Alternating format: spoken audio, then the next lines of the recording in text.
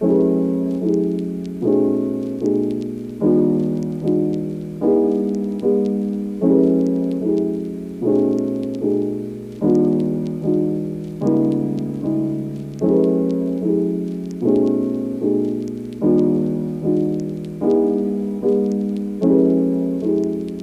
going on guys? Welcome into my channel Ripex with a brand new season and with brand new video update guys boosting your FPS in Fortnite chapter 3 so guys in this video I'm going to show you a brand new method to boosting your FPS as you also see in the starting of my video guys how much performance increase you will get after watching my this video. So guys let's start this video. So guys first of all you need to download this Fortnite chapter 3 FPS boost pack on your PC.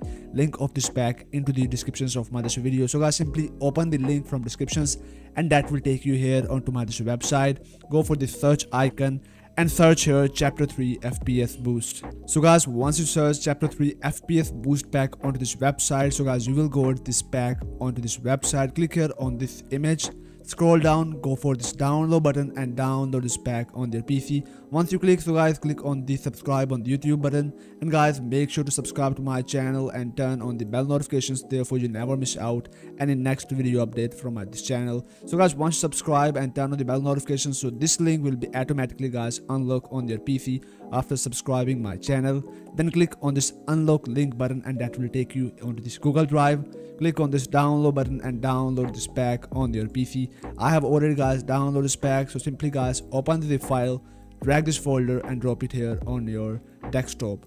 Now open this folder. Here's guys a bunch of files for boosting or optimizing your pc for the new chapter 3 of the fortnite. So open this first folder and here is the thumb registry optimizations file for the gaming for your all the aspect of your pc for your cpu gpu memory ram network everything. So guys let's go and install this registry files so guys simply double click here and click yes.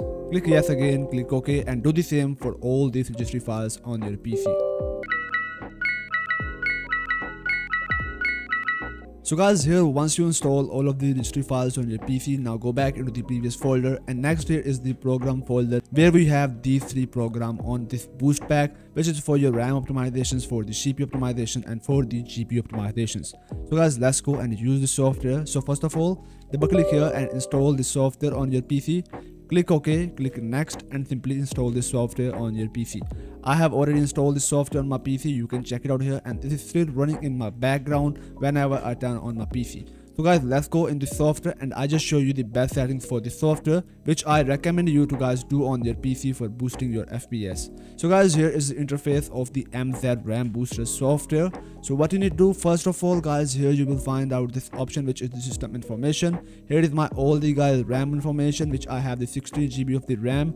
Go for the second tab which is the system speed up so guys follow all of my the settings click on the disable NTFS last access update and checkmark onto the CPU priority tweaks which is the boost foreground application which is running in the front of your screen like your game or any kind of software which you are running. So simply checkmark on this option then checkmark onto the automatic and running task and follow all of my settings. Then click on this apply value and apply the settings on your pc then go for the next option which is the options tab. Now here guys you need to follow all of these settings carefully for optimizing your ram. So here you will find out the automatic optimize if ram free is below mb so you need to type here 2500 and follow all of these my value into the same guys location on also on your pc in the software so guys once you do it now check mark here onto this option which is the load on windows startup. And guys leave these options then hit on the apply button and apply all the settings on your pc so guys once you do it now simply close out the software. This will keep running in your background. But guys make sure to run this software as the administrator when you turn on. Otherwise this will not apply the settings. Next software is for the cpu optimizations. And this is the park controller one of the best software for it. Simply guys double click here and also install this software on your PC. I have already guys installed this software on my PC. I just show you real quick. It is also running in my background whenever I boot up my PC. So here is the interface. So what settings you need to do? That is guys CPU settings for the power profile. Guys you need to select the Bitsum high performance for this power plant for the software. Click on the make activate. Set all these options or the disable. Select all the slider onto the 100%. Hit apply Check checkmark onto the Bitsum Dynamic Boost enable. You will get this option, select out the Bitsum High Performance. Again from this list, click OK. click ok again and guys here we are done with our power controller and this will keep running in your background whenever guys you turn on your pc now open the boost pack. Next here is software which is the throttle stop and this is guys the best software for gpu optimization. If you have the amd or the intel gpu guys it doesn't matter guys simply open the zip file drag all of these files on your desktop and this is the guys main exe file. Simply guys drag it here on your desktop double click here on this exe file click yes click ok and guys here is the interface of this software. So guys what settings you need to do here guys? First of all you will find out here this option which is the performance. So you need to select this option onto the gaming then check mark onto the high performance and also follow all of the settings on your pc then click on this turn on options and now simply guys minimize the software and this will also keep running here in your background whenever guys you turn on your PC. If it is not so guys make sure to run this software on your background before playing the Fortnite or launching your Fortnite. Once guys you do install all of these programs on your PC and do all of the settings now here is our chapter 3 best configuration settings which you can use on your low end PC or very low end PC. So guys you can use it according to your PC build so guys I will not guys suggest you to use it. So guys if you have a very low end PC and if you use this folder on your PC so you will get some extra FPS. So guys open this folder simply right click here click copy then guys press windows R together from your keyboard type your app data click ok go for this local folder press F from your keyboard go for the Fortnite game folder save config windows client and simply replace this file. Click on this paste button click on replace the file destinations and guys here we are done with over this installation of this file. So once you do it now guys go back into the main directory and here is our last folder which is the timer resolution.